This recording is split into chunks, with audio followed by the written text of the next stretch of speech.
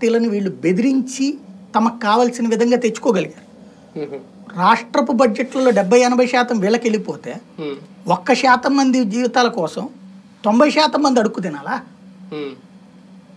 ఏంటి సంబంధం బేసిక్గా వాస్తవంగా మన రెండు తెలుగు రాష్ట్రాల్లో జరిగింది అతి మామూలు అతి కాదు రెండు వేల పద్నాలుగు తర్వాత జరిగింది. పోటీలు పడి పెంచేశారు పోటీలు పడి పెంచేశారు. ఎందుకంటే రాజకీయ వైఫల్యం ఆనాడు రాజకీయ పార్టీలు తమకి తాము ఎస్టాబ్లిష్ కావడం కోసం ఉద్యోగ సంఘాలను అడ్డు పెట్టుకుని రాజకీయాలు చేసినాయి. అక్కడ తెలంగాణ ఉద్యమం అయినా ఇక్కడ ఆంధ్ర ఉద్యమం. అప్పుడు అప్పుడు రాజకీయ పార్టీలకు అవసరమైన అధికారులు ఇప్పుడు అవసరం లేకుండా పోయారా? ఆ రోజున రాజకీయ పార్టీలకు అవసరం కాలేదు. వాళ్ళు చేస్తున్న ఉద్యమంలో రాజకీయ పార్టీలు దూరి లబ్ధి పొందినాయి.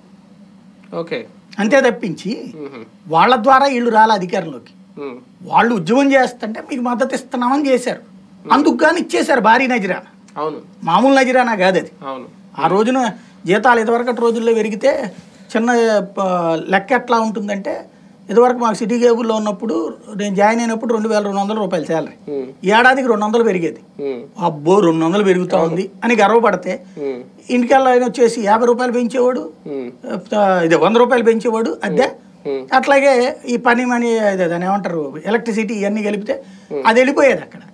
మళ్ళీ ఇంకో యాభై రూపాయల కొరత ఎప్పుడు కనబడతా ఉండేది ఉమ్. ఐదేళ్ళు చేసి అట్లాగే. ఆ తర్వాత తేజాలో చేస్తే ఏడాదికి వెయ్యి రూపాయలు పెరిగేది.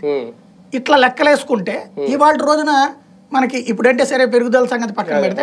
శాలరీస్ పరంగా గట్టిగానే తెచ్చాం ఎందుకు ఎక్కువ కష్టపడతాయి.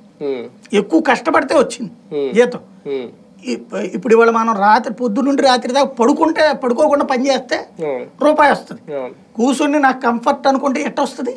వీళ్ళకి అట్లా కాదే. వీళ్ళు ఎక్కువ పని చేసి తీసుకుంటున్నారా. ఎక్కువ జీతం. పని అంతే ఉంది. జీతం మాత్రం ఎక్కువ తీసుకున్నారు. గుడ్ తప్పులేదు. ఓసారి వచ్చేసింది. ఇంకా ఇంకా ఇంకా. ఇప్పుడు ఒకటో తారీఖు జీతం ఇవ్వమని అడగడంలో తప్పులేదు లేకపోతే మిగతా ఏవైతే సదుపాయాలు అడుగుతున్నారో అది తప్పులేదు ఈ ఏదైనా సరే ప్రభుత్వాలకి ఆర్థిక భారం అయితే వీళ్ళ వీళ్ళ దాంట్లో ఇప్పుడు ఏకైక సమస్య ఒకటే ఒకటి. ఓల్డ్ పెన్షన్ స్కీమ్ అవును మెయిన్ అదే ఇట్స్ నాట్ పాసిబుల్. కానీ వాళ్ళు అదే